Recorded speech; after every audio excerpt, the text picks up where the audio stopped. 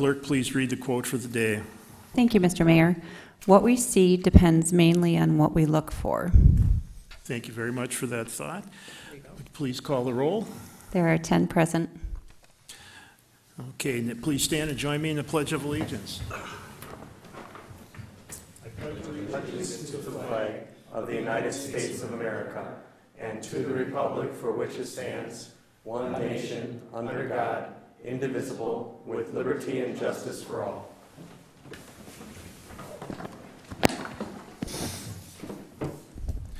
Next item on the agenda is approval of minutes from our first council meeting. Alderperson Wolf. Thank you, Mayor. I make a motion to approve. Second. Thank you for that motion and support. Is there any discussion on the minutes? Seeing none, all those in favor signify by saying aye. Aye. Opposed? Motion passes. Next, we'll move on to mayor's announcements.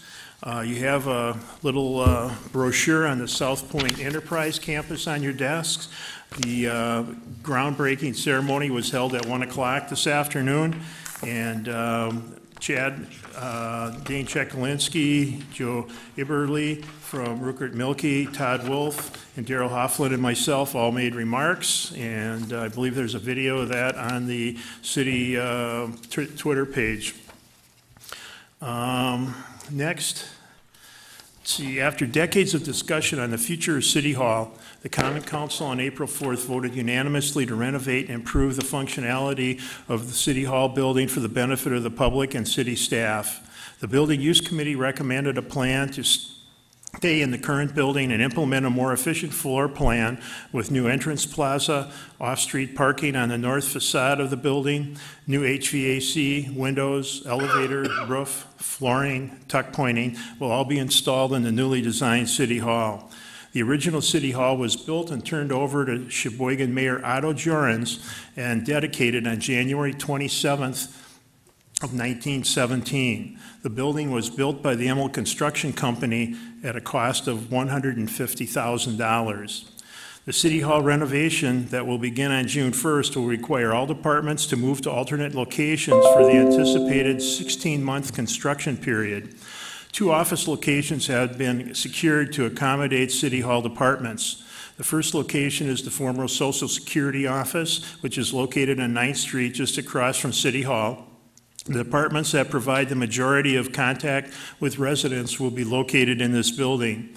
The first departments will move to this location on Thursday, April 26th, and that'll be the Planning and Development and Building Inspection Department and the Finance Department Payments Clerk.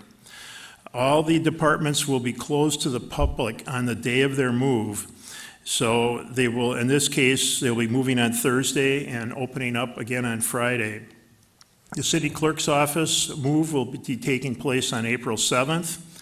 Now, the second building that was secured uh, for City Hall offices is the Sheboygan County Highway Transportation Office is located on North 23rd Street next to the Sheboygan Police Department.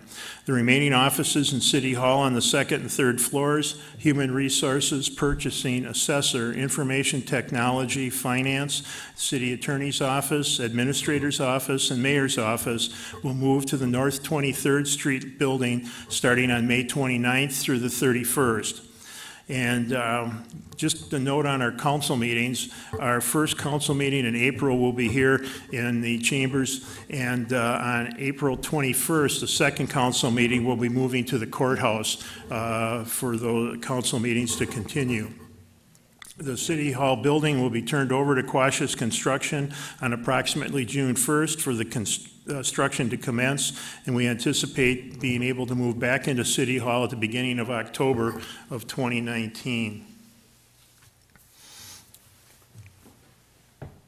Mayor, Yes? I think you met May on some of those, uh, the city clerk's office will be moving when? May 7th. May seventh. I think you said April. I'm sorry. Okay. Uh, Moving on, uh, I have a proclamation delivered tonight. Whereas in nine- 1872, the J. Sterling Morton proposed to the Nebraska Board of Agriculture that a special day be set aside for the planting of trees. And whereas this holiday called Arbor Day was first observed with the planting of more than a million trees in Nebraska. And whereas Arbor Day is now observed throughout the nation and world, and whereas trees can reduce the erosion of our precious topsoil by wind and water, cut heating and cooling costs, moderate the temperature, clean the air, produce life-giving oxygen, and provide habitat for wildlife. And whereas trees are a renewable resource, giving us paper, wood for our homes, fuel for our fires, and countless other wood products. And whereas trees in our city increase property values, enhance the economic vitality of business areas, and beautify our community. And whereas trees, wherever they are planted, are a source of joy and spiritual renewal. And whereas the city of Sheboygan is celebrating 40 years of being designated Tree City USA by the Arbor Day Foundation, we are the longest-running city in all of Wisconsin. Now therefore, I, Mike Vandersteen, by virtue of the authority vested in me as mayor of the city of Sheboygan, do hereby proclaim April 27th as Arbor Day uh, in the city, and I urge all residents to celebrate Arbor Day and support the efforts to protect our trees and woodlands. And Arbor Day will be celebrated uh, in Deland Park at 10 o'clock. Uh, We have a special program in conjunction with the, uh, the two Rotary clubs, the Early Bird Rotary and the Sheboygan Rotary Clubs. And uh, they've made a pledge to plant a, a tree for every member uh, of their club. So uh, it's a, it's a great testament to uh, their mission, and we appreciate their help with that project as we try to deal with the emerald ash borer infestation. And I'd also like to say congratulations to Ryan Sorensen uh, and the recent uh, uh, Coastal Group had their award ceremony as part of the, uh, the YP events this week, and he was named one of the top young professionals of Sheboygan County. Congratulations, Ryan.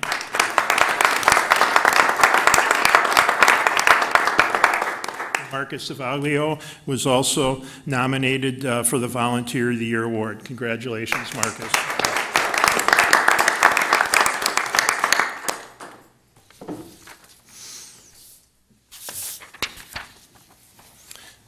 Tonight, we're here to approve the uh, committee appointments for the 2018-2019 council year, and pursuant to Section 272 of the Municipal Code, standing committee assignments are made by the mayor on April 17th and subject to confirmation by the full council on April 23rd.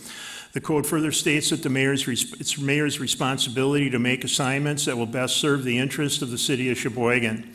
To assist me in that process, I asked all of you to rank your committee preferences, and I've made every effort to take those preferences into consideration in the standing committee appointments.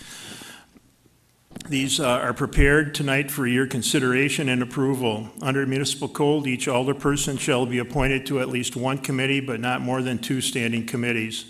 In addition to the list of appointments for the standing committees, I've also shared the committee preferences spreadsheet with the rankings of all the alderpersons, and I'm pleased to report that all the alderpersons received their first choice in a committee assignment. Good thing you were diverse in your selections. There aren't as many choices as there were in previous years.